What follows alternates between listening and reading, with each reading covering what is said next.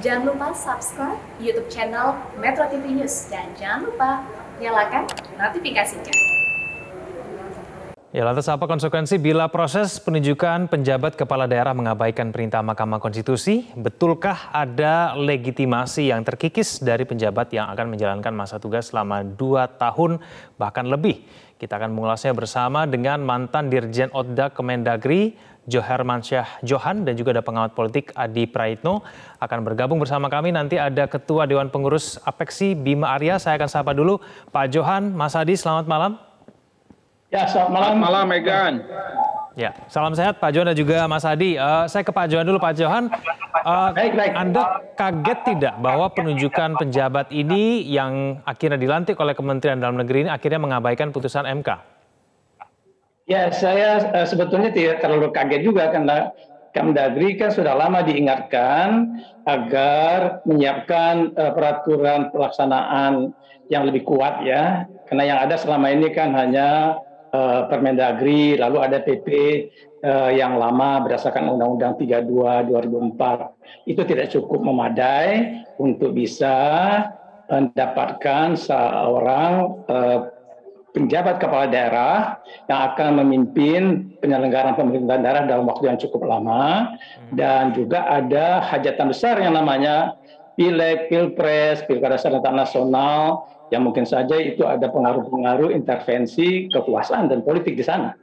Jadi begitu Mas Niken saya nggak terlalu kaget karena sudah lama diingatkan tapi tidak ada action dari Kemdagri kan.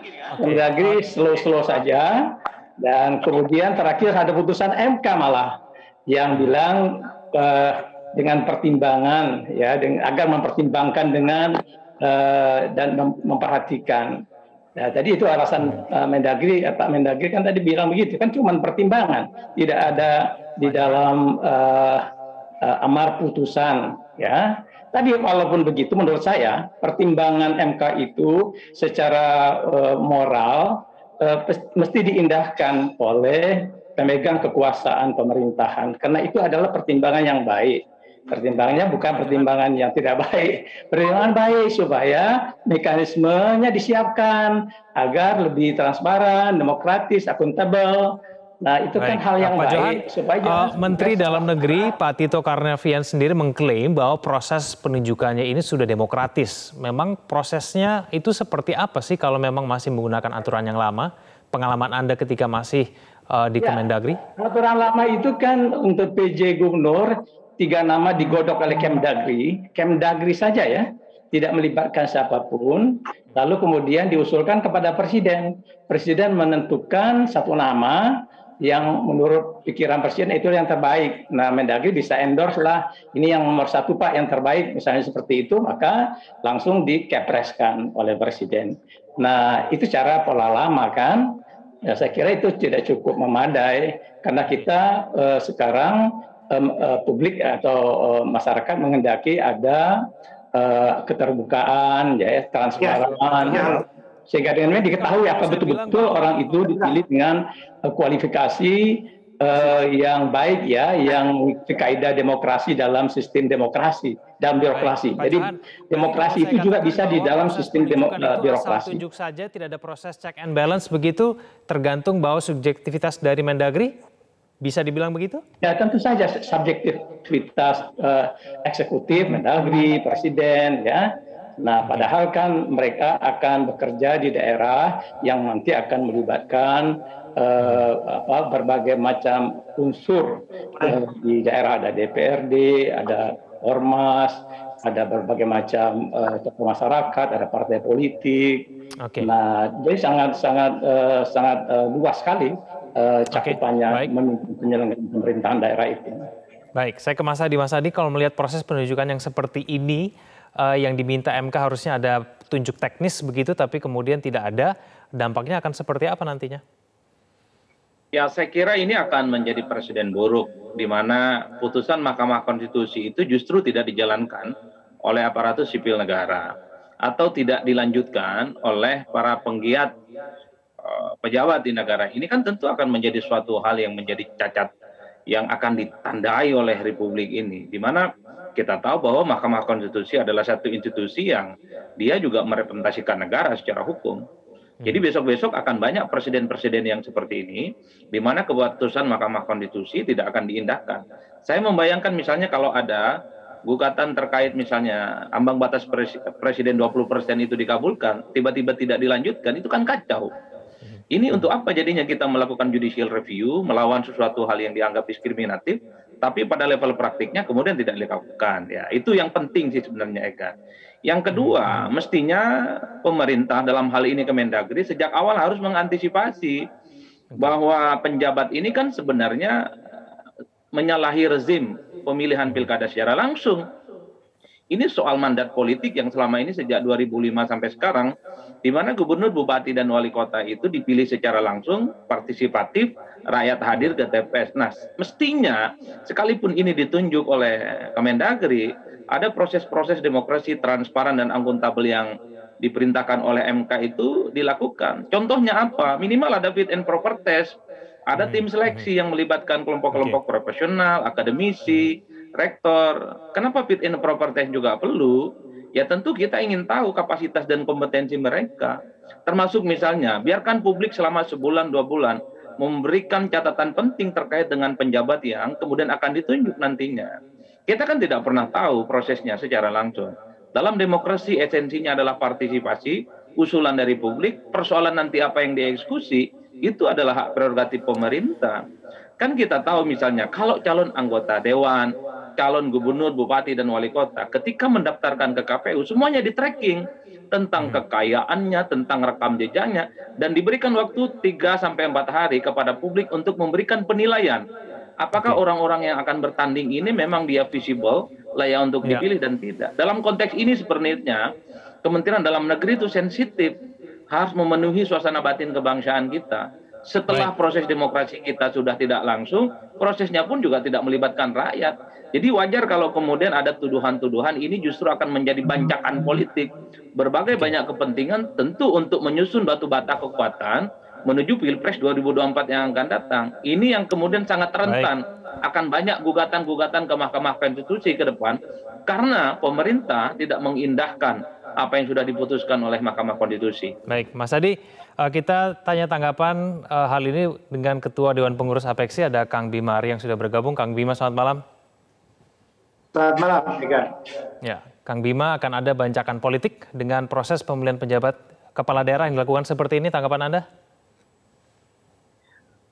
Gini, memang kita harus pahami bahwa ini adalah kondisi yang tidak terhindar sebagai konsekuensi dari pelaksanaan pilkada serentak itu poin pertama. Tetapi bagaimanapun ini tidak bisa dipandang hanya sebagai mengisi posisi administratif saja karena ada kebutuhan kapasitas kepemimpinan yang uh, harus dipenuhi di sini. Nah, karena itu saya kira yang paling utama adalah bagaimana kita pastikan proses seleksi ini bisa memunculkan eh, sosok-sosok uh, yang bisa memenuhi harapan terkait kapasitas itu. Seleksi ini harus lebih melibatkan daerah. Seleksi ini harus bisa memunculkan sosok-sosok yang tidak saja rawan titipan. Itu poin pertama. Jadi seleksi lebih transparan, lebih melibatkan daerah. Yang kedua, saya kira penting juga untuk melakukan proses pengawasan. Jadi pengawasan untuk memastikan bahwa penjabat ini perform, bisa dievaluasi secara periodik. Ya bisa juga dengan melibatkan DPRD misalnya ataupun komponen daerah lainnya. Ya, saya kira dua poin itu yang harus kita kritisi. Proses seleksi, kriteria penjabat, dan kemudian pengawasan. Baik, Kang Bima, tapi APEXI sendiri dimintai pertimbangan tidak dalam penunjukan lima uh, penjabat kepala daerah ini dan kemudian nantinya akan ada uh, bupati dan wali kota ke depannya? Kami sudah menyampaikan pokok-pokok pemikiran kami kepada kementerian terkait. Kemarin juga ada uh, forum yang membicarakan khusus seperti ini, kami sudah menghimpun masukan dari teman-teman kepala daerah, dari 98 wali kota, dari 6 uh, eh, apa, kepengurusan di wilayah. Kita mengusulkan agar penjabat ini lebih memprioritaskan dari ASN senior, dalam hal ini Sekda. Jadi teman-teman wali kota ingin agar Sekda betul-betul dihitung dan direkomendasikan. Ketimbang sosok-sosok lain yang belum tentu memahami peta lokal dan belum tentu memiliki kemampuan untuk memobilisasi dukungan-dukungan uh, politik di daerah. Baik. Uh, Kang Bima, saya ingin konfirmasi apakah memang betul ada lobby-lobby politik yang mungkin dilakukan oleh uh, level tertentu begitu seperti Pratama untuk kemudian bisa menjadi penjabat kepala daerah ini? Ya, saya sendiri tidak mengalami dan tidak tahu persis ya, tetapi yang saya dengar kemungkinan seperti itu ada. Ya, kemarin dalam waktu dalam forum diskusi Pak Menteri Cahyo akui itu, Kang Emil, Pak Gubernur Jawa Barat juga akui itu terjadi. Ya saya kira wajar saja apabila ada komunikasi. Tetapi tidak wajar ketika pertimbangan politik, pertimbangan kepentingan kelompok tertentu menjadi dominan ketimbang keberlanjutan program pemerintah di daerah. Baik, saya kembali kepada Pak Johan. Pak Johan, lobby-lobby seperti itu memang ya. ada, bentuknya seperti apa, dan apakah memang lebih berat terkait dengan politik?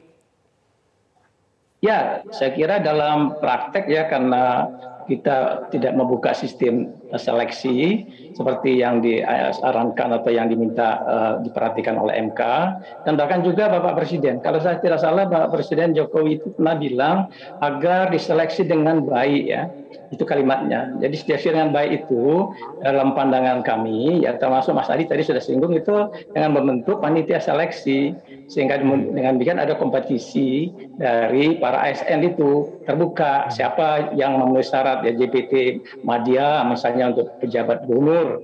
Nah itu terbuka lalu kemudian diumumkan dan ada keterlibatan publik ya sehingga dengan demikian itu lebih menunjukkan transparansi dan ada kompetisi. Di situ kan syarat demokrasi dalam konteks uh, penunjukan ini masih sesuai lah dengan makna yang diharapkan oleh MK ber berbasiskan pasal 18 ayat 4 Undang-Undang 1945 itu. Gubernur Bupati Wali Kota dipilih secara demokratis.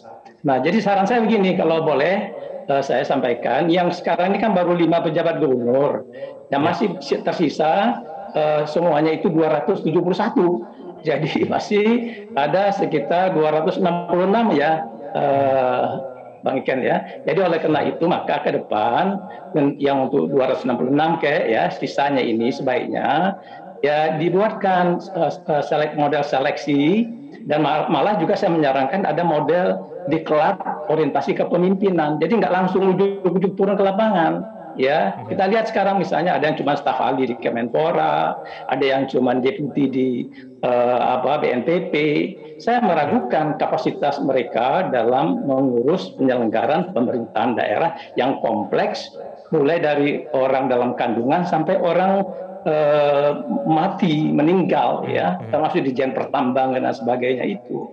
Nah jadi ini mungkin lebih baik begitu sisanya ikutilah model seleksi seperti yang dianjurkan oleh Bapak Presiden lakukan seleksi dengan baik terbuka kepada publik libatkan publik jangan hanya di lingkungan uh, satu kementerian atau hmm. melibatkan ada kelembagaan kementerian yang lain dan tertutup publik tidak tahu apa kita kaget nih ada orang-orang itu memimpin Eh, atau ditunjuk menjadi PJ. Jadi penunjukan itu bisa nanti menimbulkan dugaan-dugaan spekulasi yang tidak tidak uh, tidak tidak sehat atau tidak uh, tidak baik bagi pemerintah. Baik, uh, saya ke Mas Adi. Mas Adi, uh, terakhir uh, bagaimana kemudian publik bisa melakukan fungsi pengawasannya apabila kemudian penjabat uh, daerah kemudian yang berada di wilayah ini uh, bisa dikatakan ataupun mungkin diragukan begitu kualifikasinya dan bahkan mungkin ada kaitannya dengan bancakan politik yang Anda katakan tadi? Ya sulit untuk melakukan pengawasan karena penjabat ini kan otomatis ditunjuk tanpa ada proses civic engagement. Apa-apa yang disampaikan oleh Mahkamah Konstitusi tentang transparansi, tentang akuntabilitas, itu kan mengharuskan aturan turunan yang mestinya menjadi petunjuk teknis dalam sejauh mana misalnya penjabat ini memiliki kapasitas dan kompetensi termasuk wewenang mereka dalam uh, memimpin kepala daerah. Itu yang saya sebut tadi berbahaya kalau tidak ada peraturan-peraturan yang kemudian menjelaskan ini ke bawah. Karena nah. cukup potensial penjabat ini menjadi alat mesin pemenangan politik tertentu di pilpres karena penjabat tidak diikat oleh apa pun ya hmm. inilah yang saya kira menjadi ruang gelap yang mestinya diterobos cukup sudah misalnya sejumlah penjabat yang ditunjuk hari ini, tapi untuk penjabat-penjabat yang lain yang masih belum diputuskan, perlu diadakan fit and proper test ya. Minimal ada tim seleksi yang kemudian memberikan informasi kepada publik soal ada satu, dua, atau tiga nominator yang kemudian layak untuk menjadi penjabat yang sebenarnya disodorkan oleh pemerintah. Tidak ujuk-ujuk memilih, kemudian ditampilkan, tapi kita tidak pernah tahu track record mereka. Ini kan sebenarnya untuk memberikan kepuasan kepada publik bahwa rezim demokrasi kita yang pemilihan langsung ini janganlah misalnya dinodai oleh proses-proses yang justru ini akan merusak kualitas demokrasi kita. Baik, terakhir ke Kang Bima. Kang Bima, bagaimana kemudian saran dari Apeksi, bagaimana kemudian kita bisa memastikan bahwa penjabat ini betul-betul berkualitas? Ya itu yang tadi saya sampaikan, dua poin utama. Proses seleksi terkait di dalamnya adalah uh, aturan yang lebih tentang kriteria penjabat. Ya, apakah di situ diberi koridor, tidak boleh mencalonkan, kemudian hal-hal lain yang lebih rinci. Yang kedua adalah pengawasan yang dilakukan ketika menjabat ya. Uh, saya melihat ada potensi deadlock, ada potensi okay. kebutuhan politik karena legitimasi rendah berhadapan dengan resistensi yang tinggi, bisa seperti itu. Nah, karena itu harus ada uh, unsur ketiga sebagai penengah ketika terjadi kebutuhan politik di wilayah antara pejabat dan aktor politik lokal seperti teman-teman di DPRD. Ya, jadi harus ada hak veto, katakanlah begitu, entah dari kementerian atau dari provinsi. Jadi harus ada antisipasi dalam bentuk aturan lebih rinci apabila terjadi kebutuhan politik di daerah yang disebabkan hubungan yang kurang harmonis antara pejabat eh, dengan DPRD. Baik, kita tunggu aturan tersebut semoga kemudian betul-betul bisa merinci betul dan memastikan bahwa penjabat yang dipilih betul-betul berkualitas. Terima kasih Kang Bima, terima kasih Mas Adi, terima kasih Pak Johan telah bergabung bersama kami di Prime Time News. Selamat malam.